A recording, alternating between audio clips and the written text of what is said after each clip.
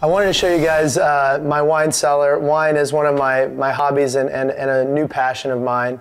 And uh, I've been fortunate the house that we bought had a little wine cellar, and I've tried to finish it out and, and add my touch to it. So here's my wine cellar.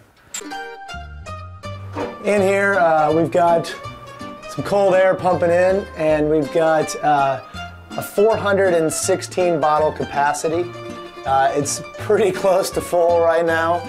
I love uh, wine. I love everything about wine, smelling it, tasting it, collecting it, learning about it. This bottle in particular is is uh, my probably my favorite bottle. It's a six liter that um, John Wittig from Southern Wine and Spirits of Nevada. After I won with Bill, he had this made and sent it to me, and it's a it's a six liter, and in addition to the picturing on the back, it's also a Caymus Special Selection, which is a which is a wonderful bottle of wine, and uh, it's about 12 bottles of wine in this one bottle, so it's a lot of wine.